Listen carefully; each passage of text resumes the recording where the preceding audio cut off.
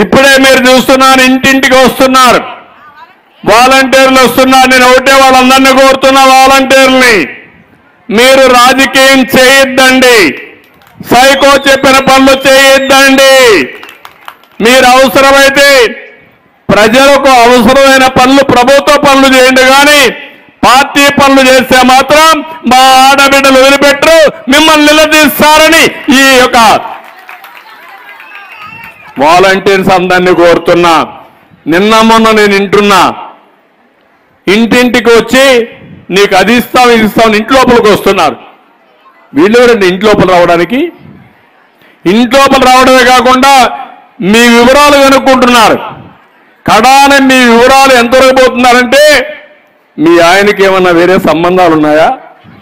నీకేమైనా అనుమానం ఉందా? అంటే కొంపలను కూల్చే మార్గం. ఇదెక్కడ నాకైతే అర్థం కాదు. నీకేంటి సంబంధం? మగవాళ్ళతో పోయి మీ ఆడబిడ్డలు ఏమైనా బయట తిరుగుతున్నారా? నీకేంటి సంబంధం? చెప్పుతో కొట్టేవాళ్ళు లేకపోతే జగన్మోహన్ రెడ్డి ఇవన్నీ ఏంటి ఈ వ్యవహారాలు?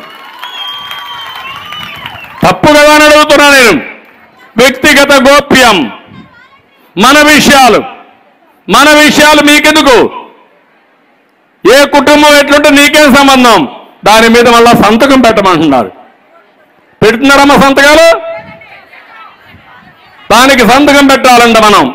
అంటే వీళ్ళు చేసే తప్పుడు పనులన్నింటికి. నేను అందుకే చెప్తున్నా కొంతమంది అధికారులు నమ్ముకొని జైలుకు పోయారు. కొంతమంది అధికారులు నమ్ముకొని కడాను గుండెపోటు వచ్చి నాకు ఈ ఉద్యోగం వద్దని పారిపోయే పరిస్థితికి వచ్చారు.